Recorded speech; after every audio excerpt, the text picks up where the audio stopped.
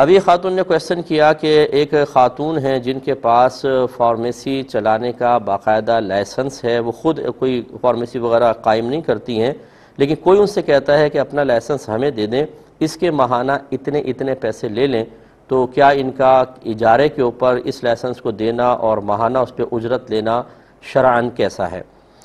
देखिए, मसला ये है कि इजारा जो है, इजारा यानी अपनी सर्विस प्रोवाइड करके उसके बदले में कुछ लेना।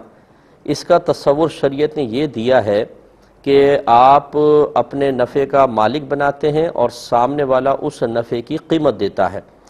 और अगर आप अपने नफ़े का मालिक उसको नहीं बनाते तो फिर आप उजरत के मुस्तक नहीं होते हैं।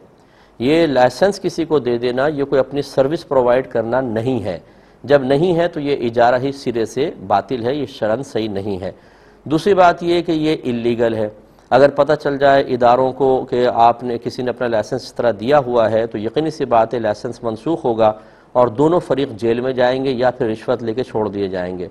खुलास कलाम यह है कि ऐसा कोई भी अमल करना जो मुल्की कानून के ख़िलाफ़ हो, जबकि वह कानून शरीयत से बरह रास्त टकराता ना हो। ऐसा मुल्की कानून जो रफ़ा आमा के लिए, बेहतरी के लिए बनाया गया हो, याद रखिए उसको फॉलो करना वाजिब होता है। लिहाजा उसके ख़िलाफ़ जाने में चूँकि अपने आप को जवाल इज़्ज़त पर पेश करना है बेज़ती पर ज़िल्लत पर पेश करना है, इसलिए शरीयत ने सख्ती के साथ मना किया है। तो ख़ुलास कलाम यह है कि ये बहन अपना ये लाइसेंस किसी को नहीं दे सकती हैं और अगर ये देंगी तो गुनागार होंगी। जो उजरत इस लाइसेंस की लेंगी, वो इनके लिए कस्ब खबीस है, जो उसको वापस करना वाजिब है। और अगर बिलफज वो चले गए हों तो फिर उस नामालूम मालिक की तरफ़ से उसको सदका करना लाजिम होगा, ख़ुद यूज़ नहीं कर सकते हैं। और आइंदा इस किस्म का कोई मामला ना किया जाए। एक ही बहन ने फरमाया कि अगर किसी शख्स को आ, कोई फासिक फाजिर है गुनाहगार है उसे नबी करीम सल्लल्लाहु अलैहि वसल्लम की ख्वाब में ज़्यारत हुई तो क्या इसे अल्लाह तबारक व ताली की रहमत करार दिया जा सकता है या नहीं?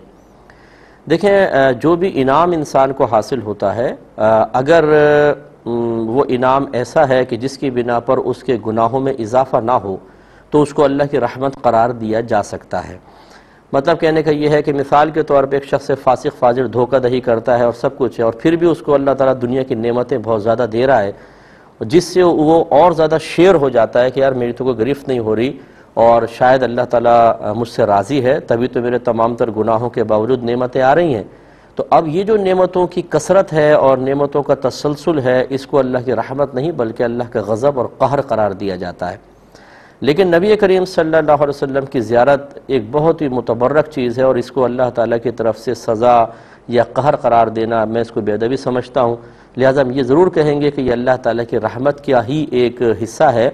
लेकिन अगर इस शख्स ने इस ज़्यारत को बुनियाद बनाकर अपने गुनाहों को दराज किया और ज़्यादा इसका सिलसिला शुरू कर दिया तो फिर गोया कि इसने उस रहमत की कदर नहीं की। अब हम यूँ कहेंगे कि इसने कदर नहीं की और इसने उस रहमत से जो फैज़ हासिल होना था उसको ज़ाया कर दिया, लिहाजा इसकी बदबख्ती है।